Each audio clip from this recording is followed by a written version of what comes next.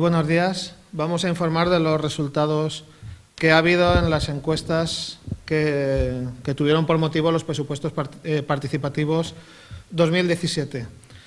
Si bien, como pueden recordar, el año pasado se recogieron vía correo electrónico por los presupuestos, eh, perdón, vía correo electrónico y vía una urna, las propuestas de los vecinos, este año, pues siguiendo eh, las directrices que se están dando desde el Ministerio en cuanto a participación electrónica y también por lo que se está haciendo en otros ayuntamientos de, España, del país, pues se ha hecho un portal web para recoger todos los presupuestos participativos y todas las propuestas que los ciudadanos quisieran hacernos.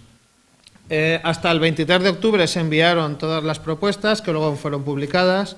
Había del orden de unas 20 propuestas, todas ellas fueron estudiadas pues tanto por intervención por servicios sociales y por el Departamento de Urbanismo para ver la viabilidad de todas estas propuestas y al final por lo que se lo que se quedó fue pues con todas las aquellas propuestas que contaban con, con apoyo eh, perdón que contaban con la legalidad y, con, y que cumplían las condiciones para hacerlas.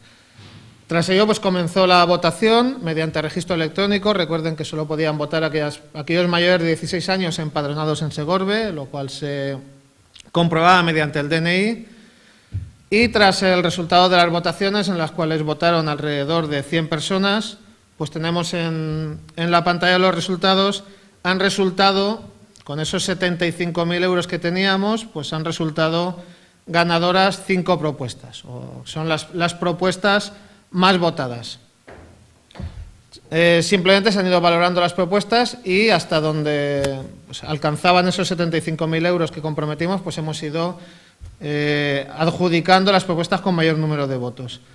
Al final de todas las propuestas habidas, las que van a entrar dentro de esos 75.000 euros son las mejoras de instalaciones del Conservatorio de Música, eh, parte del plan de rehabilitación de San Blas, porque era un plan muy ambicioso que se partió en, varias fases.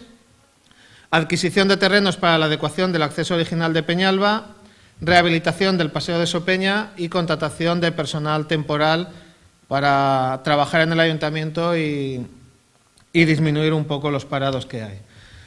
Eh, esas, como pueden ver, esas propuestas, pues ha tenido la de mejora de instalación del Conservatorio de Música, pues ha sido la más votada, con un 13% de los votos.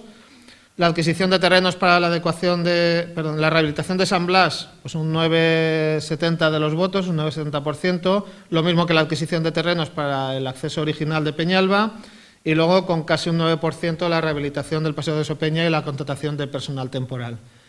El resto de propuestas pues, han tenido unos porcentajes un poco menores y pues debido a que los 75.000 euros ya se consumen con, esa, con esas cinco propuestas, pues el resto de ellas no pueden ser. No obstante, pues cuando hagamos los presupuestos los tendremos en cuenta y si de alguna manera podemos satisfacer alguna de las peticiones de los vecinos, pues se intentará llevar a cabo. Pero en principio son esas cinco para las que sí que nos comprometemos a dotarlas presupuestariamente y a llevarlas a cabo durante 2017.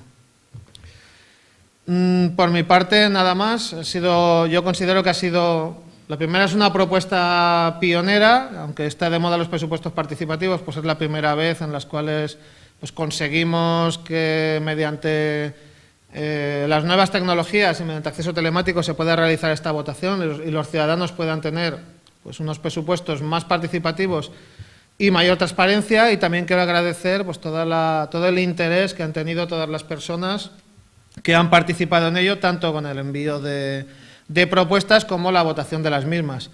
Eh, también quiero agradecer a los técnicos de informática del Ayuntamiento de Segorbe que han estado aquí durante toda esa semana pues, atendiendo pues, todas las visitas de los vecinos, todas las peticiones y todas las incidencias que hayan podido haber durante, durante ese periodo de votación para que todos ellos pudieran ejercer el voto que teníamos previsto.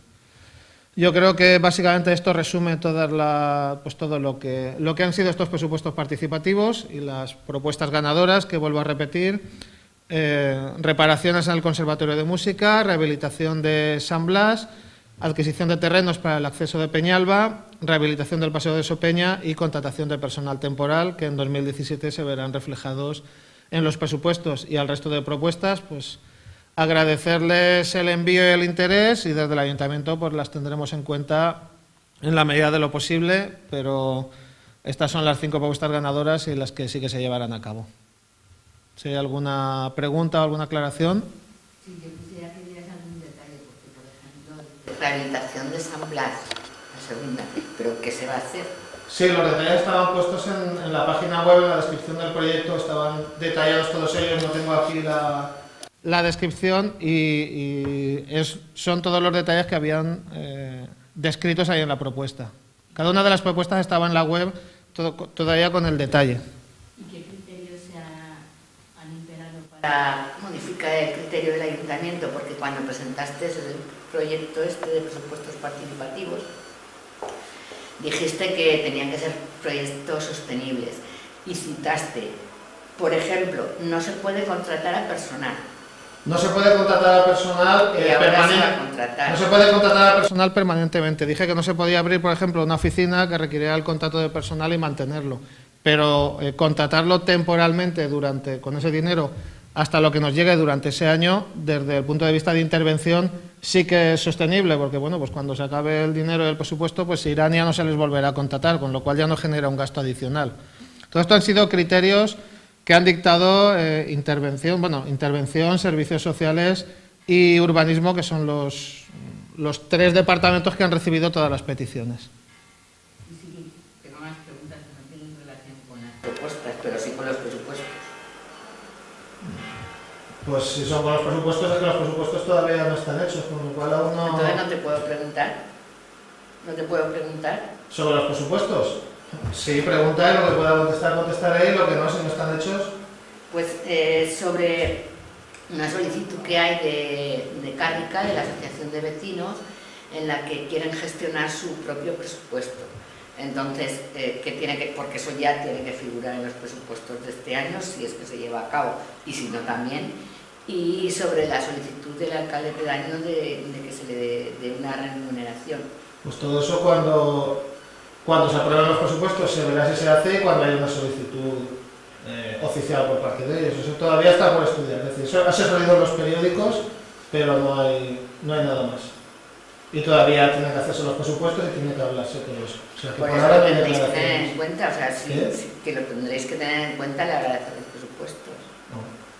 Claro. Tanto si se hace como si no, pero eso tendrá que tener en cuenta. O sea, no, no dices nada sobre eso. Claro, claro, no, puedo- no digo nada porque no hay nada que decir. Vale. Ya está. Ya está, pues vale, muchas gracias.